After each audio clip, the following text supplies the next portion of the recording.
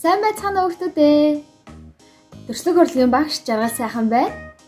За өнөөдөр 2 дугаар ангийн дөрслөг урлагийн хичээлээр дардас ашиглан зураг зурах гэдэг сэдвтэй хичээлийг үзэх болно.